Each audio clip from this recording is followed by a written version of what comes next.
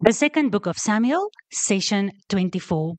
Now, this is all about Absalom stealing the love of the 10 tribes, stealing King David's people, preventing King David's people to go to King David, but taking King David's people for himself, seducing them, charming them, deceiving them, and then end up destroying.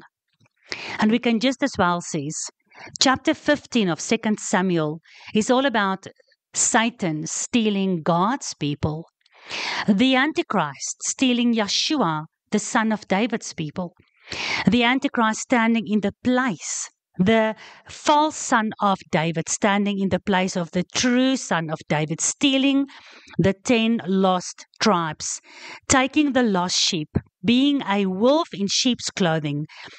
There is I don't think, in my opinion, anybody else more than Absalom, who is a wolf in sheep's clothing, who represents all the false prophets and um, their father Satan in this world, who comes amongst the sheep as wolves and they just want to kill and destroy and eat up because they are greedy. They want for themselves. Whereas King David, whereas God and his son cares about the sheep. They want to look after the sheep. And why are the sheep such idiots to go after Absalom and not to trust King David?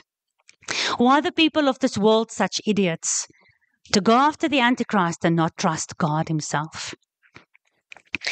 It came to pass in verse 1 after this, after what?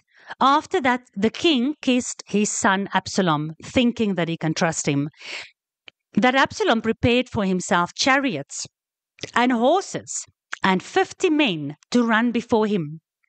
So Absalom rose up early and stood beside the way of the gate.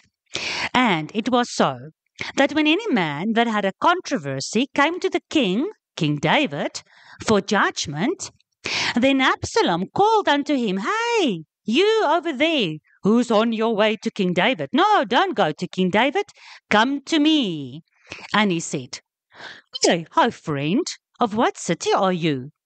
And then the guy would say, Your servant, because he knows Absalom is a prince, your servant is of one of the tribes of Israel. Let's just stop here. First of all, when you read in verse 1, he chose 50 men. What is that prophetically to you? Don't you immediately think about the 50 days, the seven Shabbats, plus the 50th day? Seven times seven is 49, plus one is 50. Between Bikurim and Shavuot, between the feast of first fruits and where God married his nation Israel at Mount Sinai at that first Shavuot. Doesn't it make you think about the whore of Babylon and the Antichrist, who also has a false marriage that is replacing the heavenly, godly, covenantal marriage? Doesn't it make you think of Jubilee? Jubilee is 50 years, and a Jubilee year brings freedom. You get your land back, the slaves are set free. There's so many beautiful things in the Torah of God regarding 50 and freedom and marriage and Pentecost and Shavuot and the Ruach HaKodesh, which is the seal of the covenant on those who are married to God. But here we have Absalom, a false Messiah prototype, choosing from all from from any amount of men that he could have chosen, he chose 50. And for me, that is prophetic because the Antichrist is not going to come like a devil with a fork and two horns on his head. He's going to come in the image of Messiah, as if he is Messiah, as if he fits into the Shavuot covenant picture, doesn't he? And what does he do? He rises up early. You know, the early bird catches the worm. You know, Satan doesn't sleep. He is very cunning charming, clever, deceiving. He probably rose up early in the Garden of Eden as well to deceive Eve as she was taking a morning stroll with her husband. So he rose up early and he stood beside the way of the gate. Yeshua is the way. Yeshua is the only gate. There is no other entrance but through Yeshua. But the enemy climbs over the wall. He doesn't come through the entrance. You know, he come he climbs over the wall of the sheepfold to come and destroy the sheep. And that's why Absalom's standing beside the way of the gate. He's not a judge. He's not an, one of the appointed judges. You remember so many times you'll read, for instance, Lot sat in the gate. Boaz, the kinsman redeemer, sat in the gate because these guys were elderly and they were righteous men and they were chosen as judges, righteous judges for the city. But Absalom is not this. He is a false judge. He stands beside the way of the gate. He's beside the true way and the true gate. Looks like the real one. He's standing right there. He calls towards the 10 tribes. He doesn't try to deceive Judah. You know, the house of Judah, uh, the tribes of Judah and Benjamin? No, he goes specifically after the 10 tribes. Why? What is the, the deep significance here?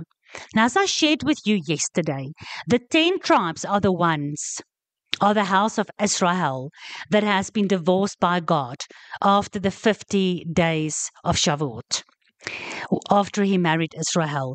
Um, the house of Israel, the 10 tribes are divorced. The 10 tribes are the most naive the ten tribes not only had one golden calf in the time of Rehoboam, they somehow had two golden calves. The ten tribes are scattered. Judah has not been scattered. The ten tribes are scattered into the earth and they are open and um, easy targets for a charming, cunning, deceptive snake. Like the Antichrist. Oh, sorry, like Absalom. Same thing. So what does Absalom do? He calls them. Where are they on their way? These people that has problems. You go, like in the days of Moses, they went to Moses.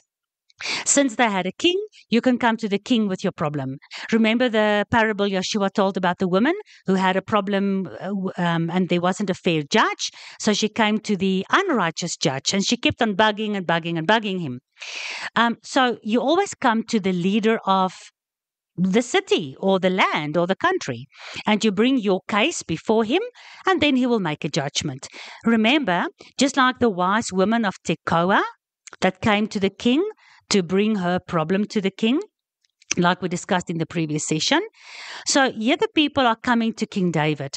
We, as the 10 tribes, must return to the kingdom of David, to the God of David, to this kingdom that David represents, which is the united kingdom where God is in control and the son of David rules and reigns, Yeshua, we must return to that covenant. But what do we find as we are turning back to Jerusalem and we want to go to King David and we realize, you know, he's our king. He's appointed and anointed by Yahuwah. We want to go to him for judgment. Just like now, the 10 tribes scattered in every tribe, nation, and tongue, they are slowly but surely realizing they must turn back to God and to the Son of God, who's called the Son of David who is the true Messiah, who turns us back and restores us back to God. So we turn back to him, and now we are on our way to go and meet with King David. And what do we find along the way? We find a snake in the way. There is Absalom in the way of the gate, or actually not in the way, beside the way. So as you are walking in the way, remember Paul says in Acts 24, I belong to a cult that you guys call uh, this a cult, but it's called the way. And I believe everything written in the Torah and the prophets of our fathers. I obey that, and this is called the way. And of course, Yeshua is the way because he is the Torah and the prophets that became flesh. So we are we are walking on the way. And many other lost sheep of the tribe of Israel that Yeshua said he came for is now walking on this way. But Absalom the Antichrist, Satan, cannot allow this. So he will send these false prophets. He's going to send the Antichrist. He's going to send the beast. He's currently sending all these false doctrines. Well, he's been sending it for the last 2,000 years into the church. So the people who wants to go to King David, walking on the way, are being called by Absalom. Hey, friend, how are you? You know, you don't expect eh, a friendly guy like that to hurt you. You don't know that he's cunning and deceptive. You know, he's the son of David, he's a prince. And he, of course, wants to help you. He's telling you here that he's going to help you, right? But Absalom is now preventing the people, he is stopping the people to come to King David. Just like Satan is stopping people the way, coming to covenant with, with God, with Yeshua, who is represented by King David, the beloved, as we've learned all through Samuel this far. So, so Absalom calls them and say, "Hey, of you know, what city are you?" If the guy says he is from one of the ten um, northern tribe cities, then Absalom speaks to him. But if he says, you know, he's he's a he's from Judah, then Absalom, you know, lets him go because Absalom in this instance realize, you know, Judah has their own problems. But here, the Antichrist is specifically focusing on the 10 northern tribes. So if he says, Your servant is of one of the tribes of Israel, then Absalom says unto him, See, your matters are good and right. So he's giving him a pat on the back. Well, my friend, this problem that you are bringing, this is a big problem. Shine, poor you. Yes, you need somebody who can judge rightly for you. Your matter is good. Your matter is right. You are correct. So let's say you've got a problem with your neighbor. I'm telling you, you are the one that is right. Don't go to King David. There's no man deputed, you know, um, will you be my deputy? Like a sheriff has a deputy. There's no man deputed of the king to hear you. He's lying. David is there. King David is there to hear you. Absalom is lying. He's first of all trapping you with a compliment, with flattery. You've got a good case, man. You've got a strong case. But there's nobody here that's going to help you. He's bringing doubt into the minds of Israel that the king of Judah cares about them. Absalom is calling these guys, preventing them to go to King David, stopping them before they go to King David, and then giving them a false alternative, pretending to be a fair judge, pretending to be the judge that they can trust, but he's, sta- he's standing beside the way of the gate, calling them like the serpent called to Eve, Hey, Eve, come here. Did God really say? Do you really think David is going to help you? No, no, no, no, no, no. Absalom said even further, Oh, if only I were made judge in the land, then every man which had any suit or cause might come unto me, and I would do him justice. Hello? Would not David do you justice? Would not King David a man after God's own heart, who is appointed as king and judge and ruler. He, he is the one that you need to come to. Yeshua says in the New Testament, In vain do you worship me, keeping the traditions of man. In vain do you pretend to worship God. Believing God, obeying God, trusting God but you go to a man. Yeshua says in the New Testament, when there's a dispute between two believing brothers, why would you go to a worldly judge? Why would you go to the evil courts? Why will you go to a corrupt system? You and your brother needs to sort out your stuff. So here you can hear the echo of Lucifer Oh, if only I could sit on the throne. If only I can rise above the mountain of God, above the stars of God. Oh, if only I can be worshipped. Oh, if only you can make me the judge. I will bring you judge, uh, justice. There's no man in the land that can hear you. I'm telling you, I believe your case. I think your case is strong. But ah, shame, I'm not a judge, so maybe I cannot help you. But if I were made a judge and if I were made king, then I will definitely look after you, my pal. Yeah, I'm sure. So Absalom said, moreover, only if I was a judge, I will do you justice corrupt justice, yeah, not, not pure justice. And it was so that when the man that Absalom just flattered and gave compliments to and made false promises to, like some political parties in this country and other countries, this man now turns his loyalty to Absalom because he is flattered and he's made confident that Absalom will look after him and that Absalom will help him win this court case against his neighbor. So now this man comes closer so that he can bow before the prince, the son of David. But what does Absalom do? The moment the man comes to bow down before him, Absalom put forth his hand and he pulls the man up. So he says, you don't have to bow before me. I'm one of you. I'm your friend. I'll be the kind of king that will not make slaves of you. I don't want you to bow before me. Stand up, man. Be proud. Be my companion, you know? And then he did what? He kissed him. Wow. The kiss of the snake. It's not good coming close like Judas Iscariot to kiss Yeshua, but it was the kiss of death, like we discussed yesterday. And the, he only had this opportunity.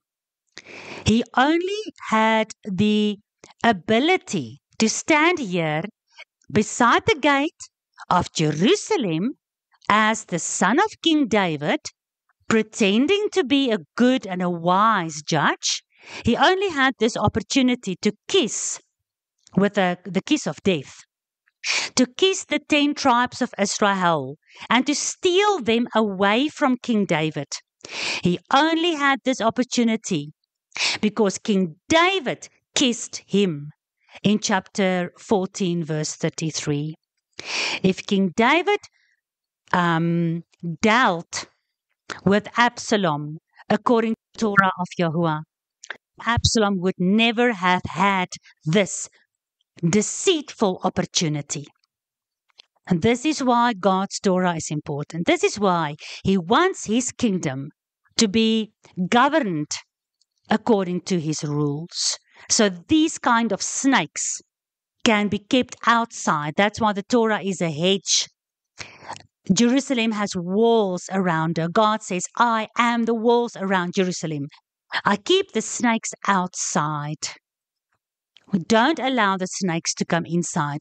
When you allow the snake to come inside the Garden of Eden, to come inside the walls of Jerusalem, to sit in the way of the gates of Jerusalem, then you allow that snake to kiss you and you fall in love with that snake. You will follow that snake and you'll be stolen away from King David. And in this manner did Absalom do to all of Israel that came to the king for judgment.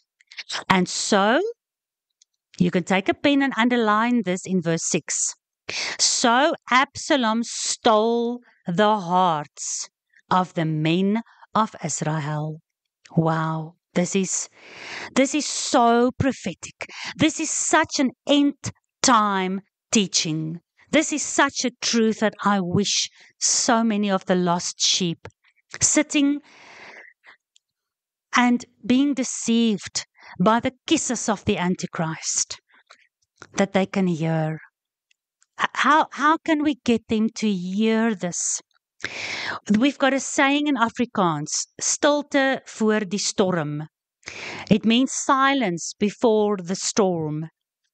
Absalom is now silent.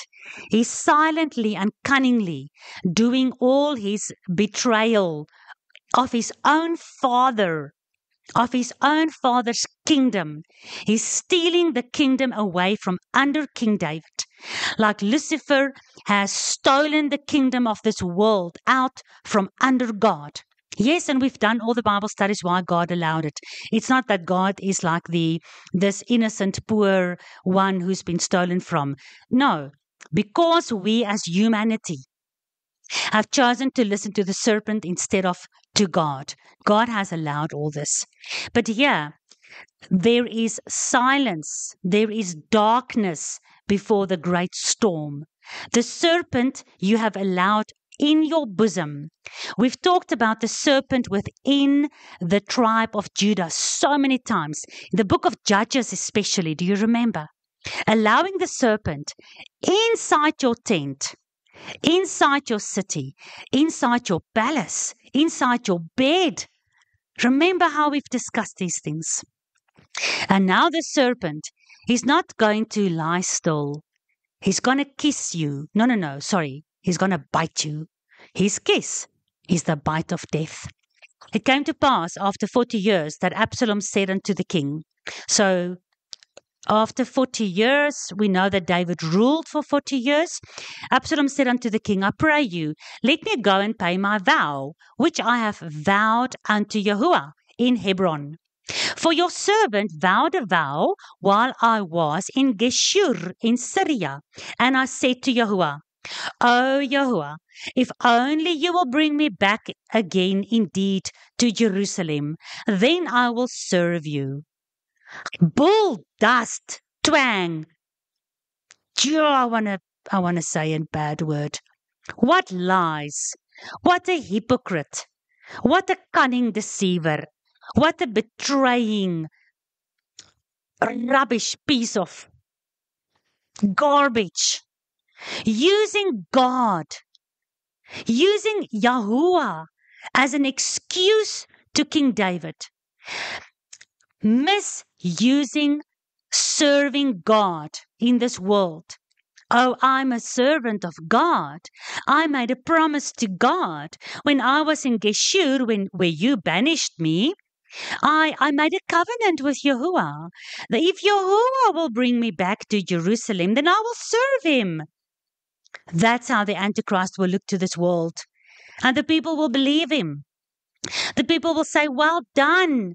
Oh, you're a servant of Yahuwah. You've come back to Jerusalem. Oh, you're in covenant with Yahuwah. Yes, go ahead. Do whatever you have to do. We trust you.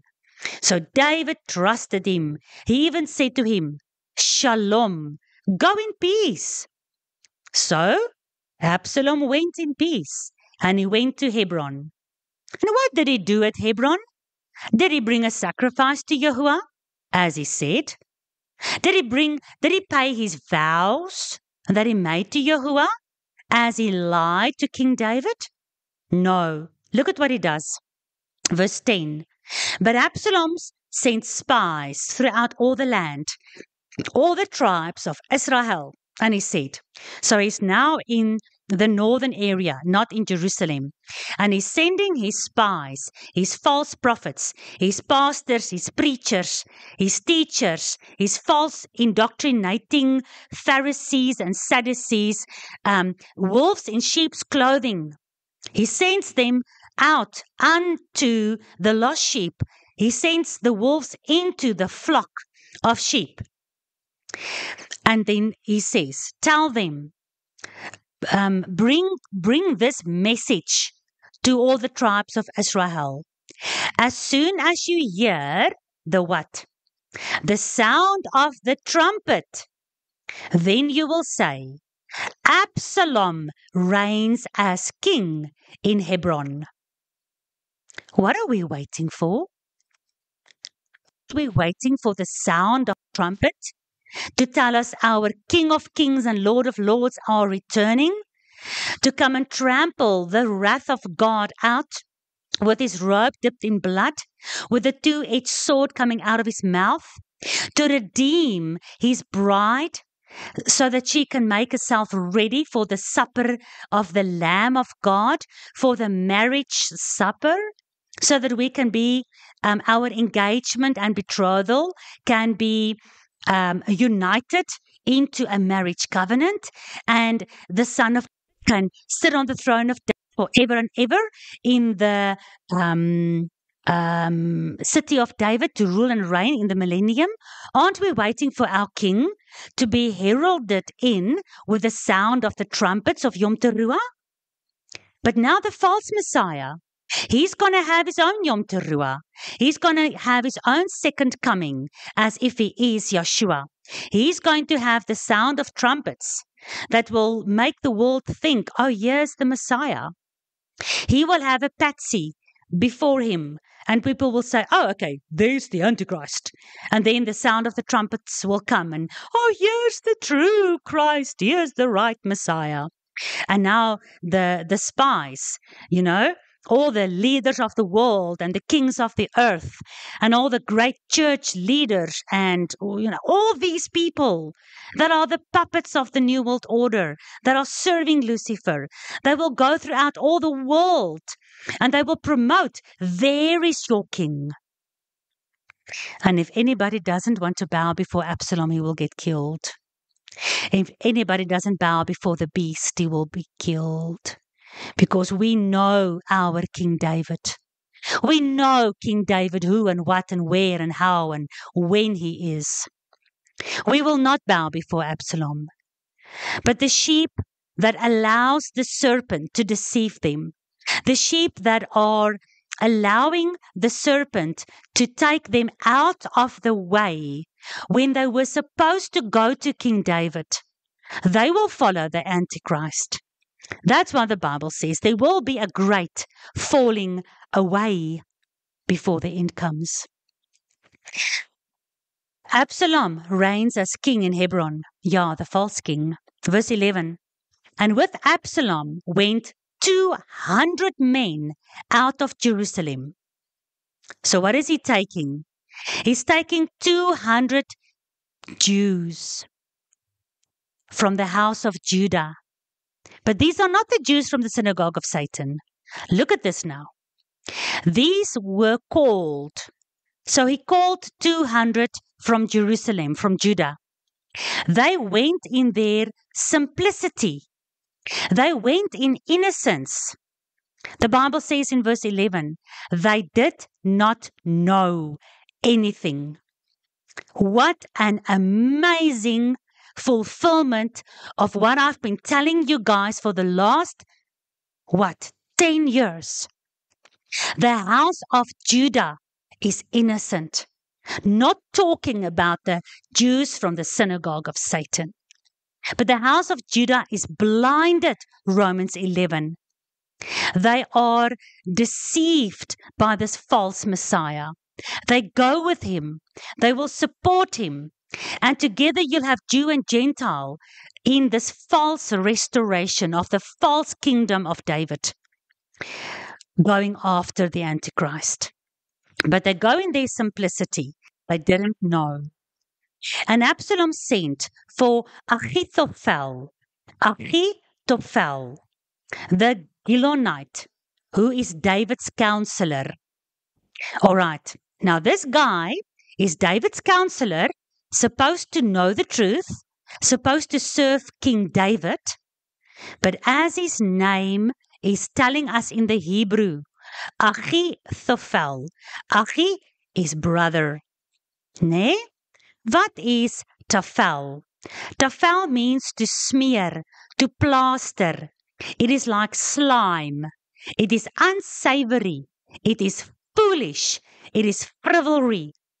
So it's a slimy, um, smearing, foolish brother who's not serving David, but he goes to Absalom because Absalom is calling him.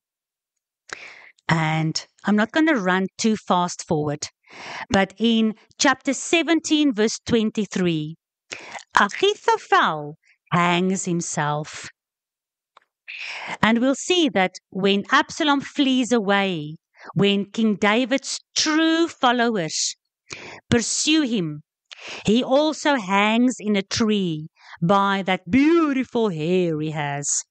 So both these two, who's in conspiracy against King David, the false prophet, the foolish so called brother.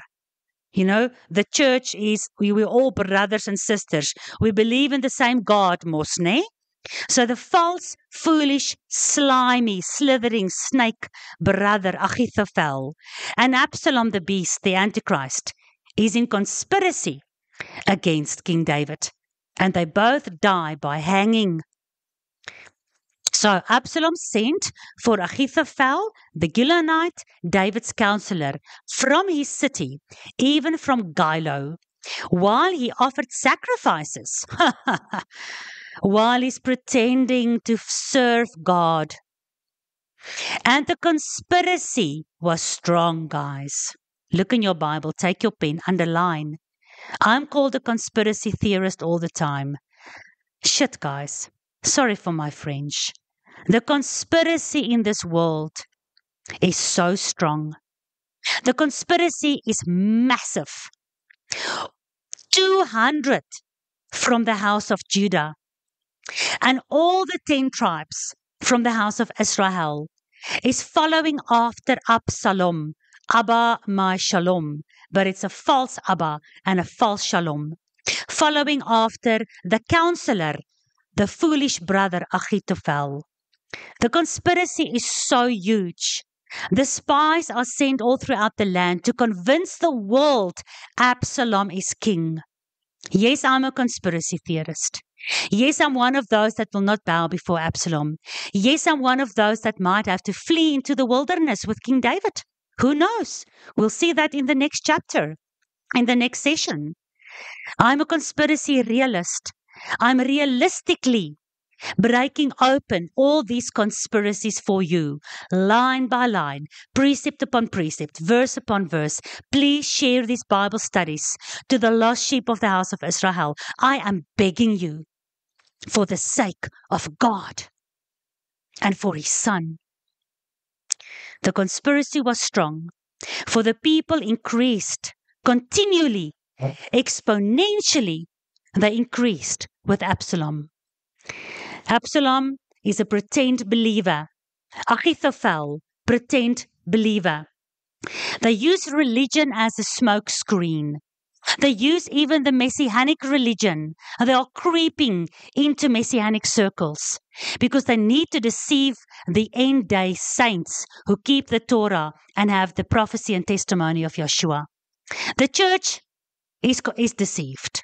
All the other religions are deceived. The deception, allowing the serpent inside your bosom, the deception will be here in our midst where these guys are sacrificing. These guys are following Shavuot, the 50 men that runs before Absalom. These guys are, sh- are sounding the trumpets of Yom Teruah, just like the true Messiah. These guys kiss, just like King David. These guys sit in Jerusalem, just like Yeshua. These guys are pretending to be fair judges, just like the judges that God's appoint. They pretend to be prophets. They pretend to be kings. And the conspiracy is strong because we are blinded. The 10 tribes and the house of Judah are blinded not to see the truth. Conspiracy in Hebrew is kashar.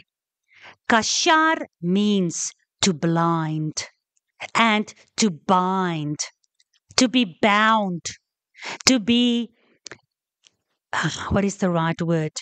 To be bound in shackles, in prison, in, in like in Egypt, where we were in bondage. The false Messiah will just bind us with all their conspiracies back to bondage. And there came a messenger to David and said, The hearts of the men of Israel are all following after Absalom. And we're going to stop here for today. Tomorrow we will look into how David flees from Jerusalem and the men that went with David and all these beautiful things that we will learn from the kingdom of our King.